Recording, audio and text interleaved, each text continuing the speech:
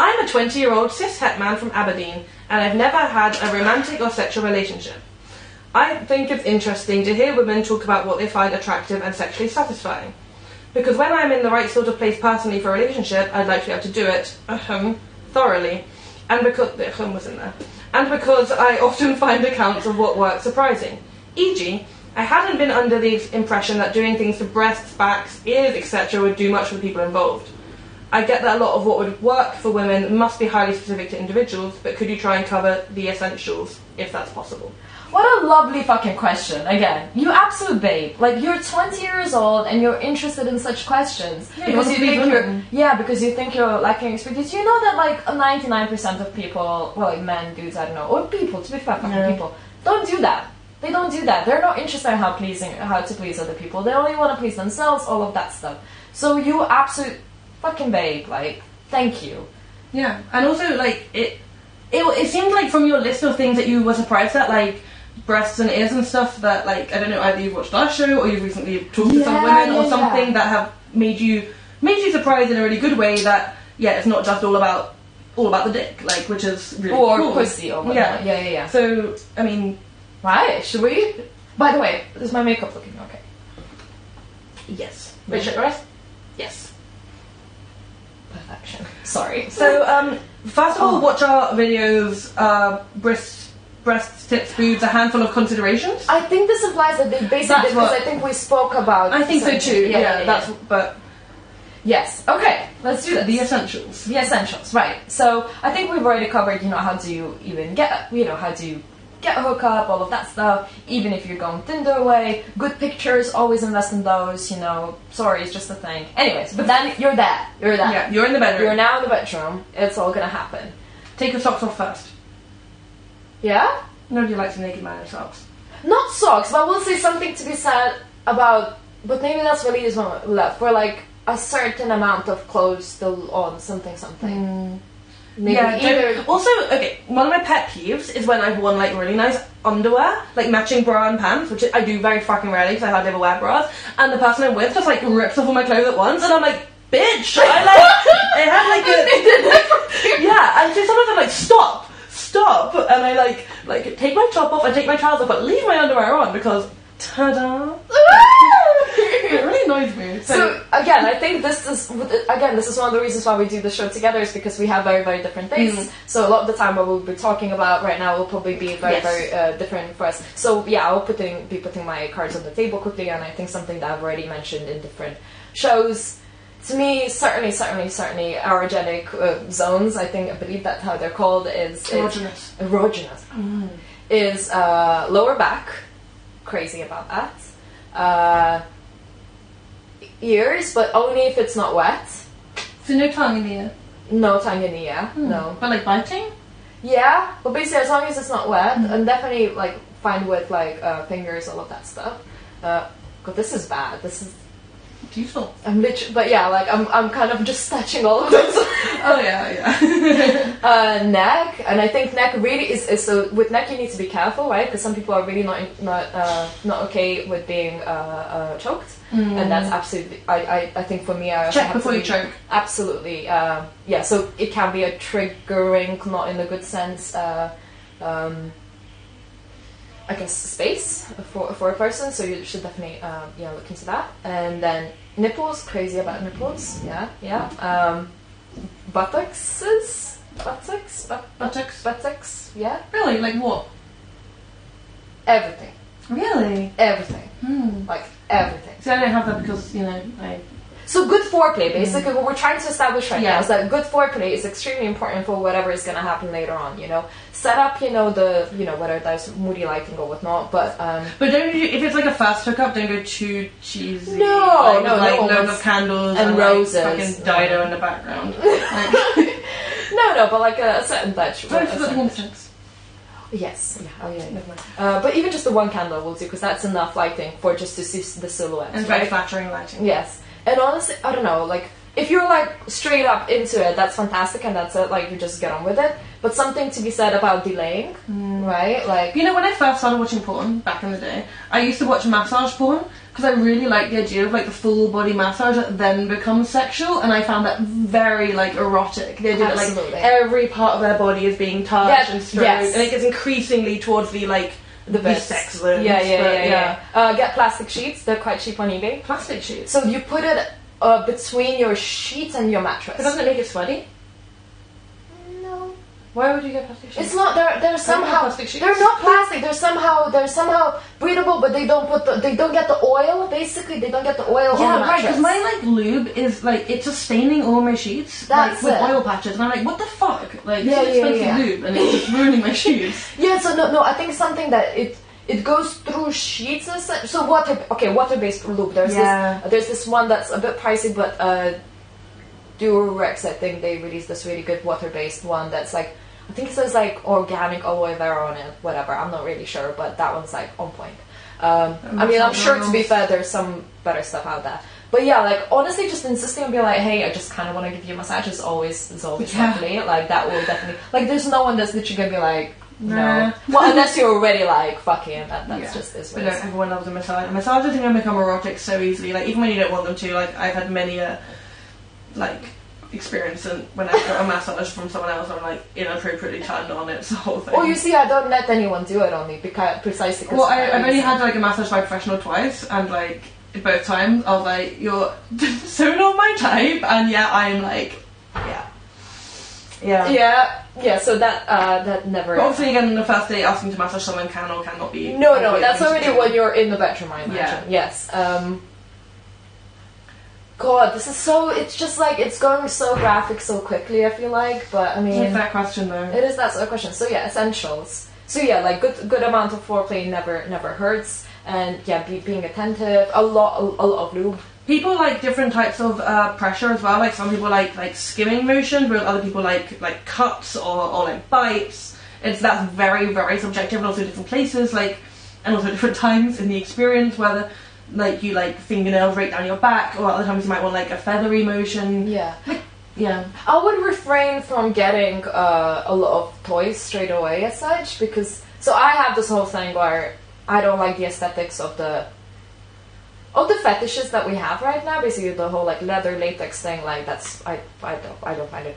I, I don't find it attractive at all. Um, yeah, something to be said about a good good USB rechargeable sex toy, of course, something quite basic. But like, I think that can be very scary for a person straight away if you're just like introducing these things straight away. I remember- I'm sorry, no, this is no, fine. no. Maybe you have a different opinion. No, I just have an anecdote about my first time with someone.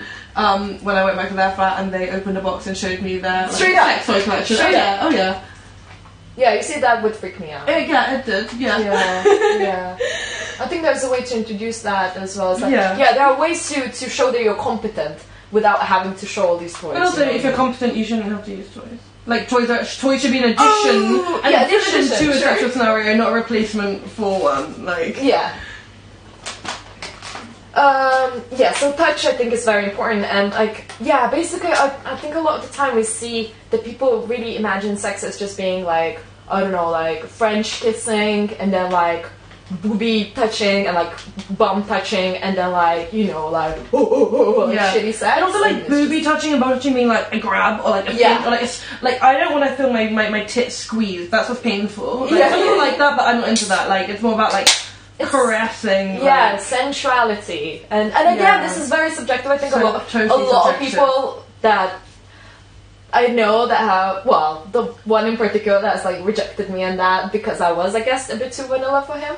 Uh, you know, he was all about like I don't know, fucking like quite violent stuff straight away as such. But the thing is, I think people who are like that tend to be quite vocal about it quite early on. Like women in particular who are into like I into more like uh word? Like it's not extreme, but like in Risque, don't risque or intense or like uh potentially painful scenarios are generally more used to telling that because it's not a given, which is a good thing. It's not a given. Like yeah.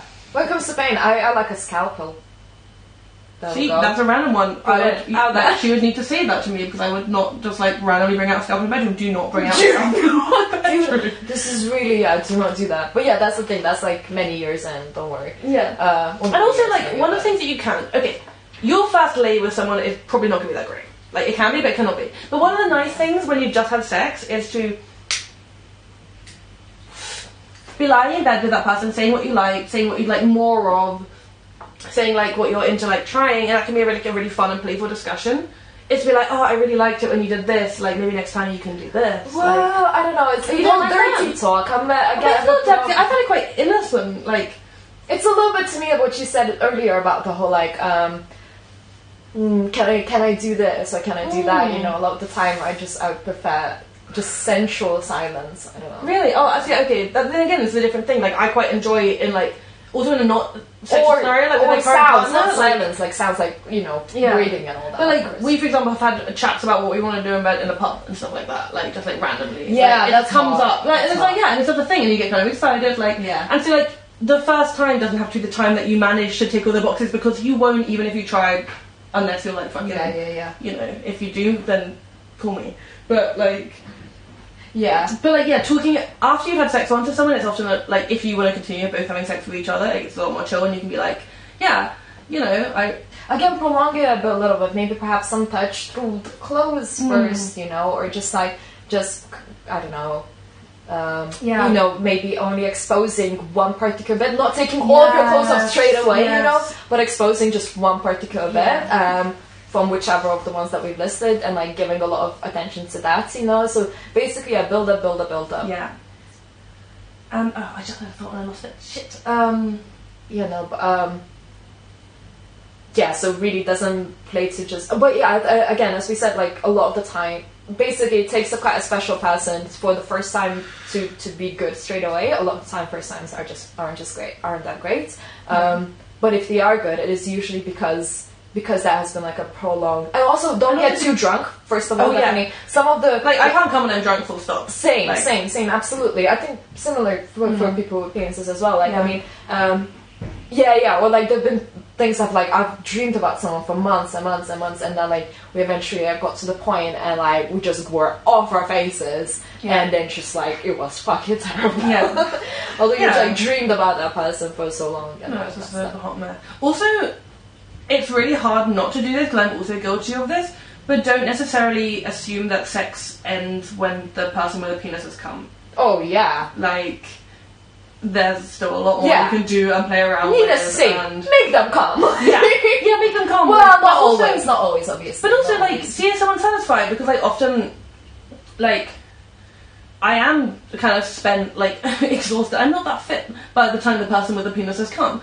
And so I'm normally actually like, that was nice, I'm ready to, like, leave off. But, like, yeah, there are other things you can do and, like, staying close with that person if they want that, or, like, following their signals post coital is also really important as well because, like, I've also been with people where, like, the second, like, the orgasm has happened, like, it's been like, get up and leave, and not that they haven't told me to, but it's been that feeling of get up and leave, put your clothes on and go, which is, can leave you feeling quite used. yeah. So, like, being a responsible person and having sex also is transcends the experience of having sex itself. Like, if you want to be a good lover, you have got to do the before and after care. Yeah, set up, you know, good smells in the room. Set Mhm. up the temperature, like not too hot and not too cold. Uh, and then also, um, I was thinking, wait, wait, What? Sorry, I no, no, no. I think I fucking dropped it. Oh, I dropped my thought. Okay.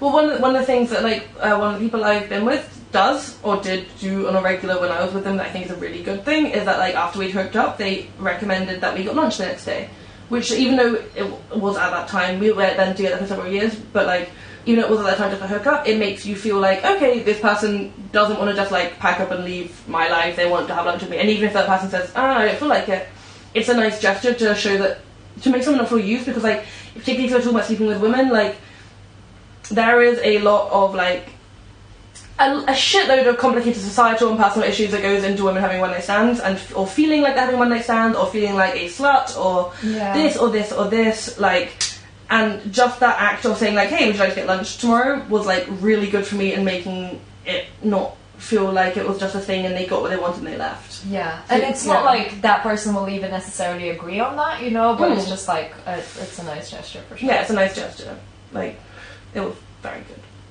yeah, but you know it, it was it meant a lot at the time like yeah, yeah, yeah. especially because I was a lot younger and had a lot more like imbued ideas of like how one should be, you know. Also, be quite creative about the space that you're in. You know, there's not just like oh the bed. Some of the hottest, best sex I've had was like mm. on the floor, even though there is like a bed next to us. You know that sort of stuff. Like so, being creative about the space, but also don't insist on it. Don't be like okay, now we're like.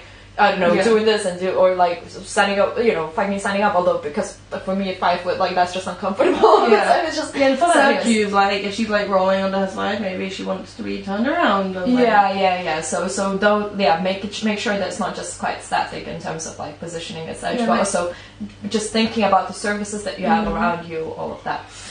And yeah, like different positions do different things, obviously, but also like particularly like I've, I'm part of this really really interesting um, sex forum on Facebook called Oops That's My Kink that I keep mentioning, but it's really good. But like for example, there was a conversation re- recently about how a lot of women only okay, so a lot of women don't come from penetrative sex, and you should know that. But how a lot of the women that do come from penetrative sex only come if they're on top. And a, a lot of guys don't really get that much out of the woman being on top because it's not as much of an up and down motion, is a back and forth motion. So like also be aware of what might make her like yeah, she might not come for penetrative sex, but it doesn't mean she doesn't want to do it. oh yeah, I hope we don't even need to say this, right? Like the fact that defo just penetrative sex, like for a lot of women, that's fuck Yeah. all. Like I so- can't come for penetrative sex. Like doesn't mean I don't enjoy it. Fucking love it, but it won't make me come. Yeah, yeah, very, very particular. I think it's happened just, just, just with it. Fucking maybe three, four times in my life. Yeah. Yeah. Yeah. But it's yeah, it's not a given, and be aware of that.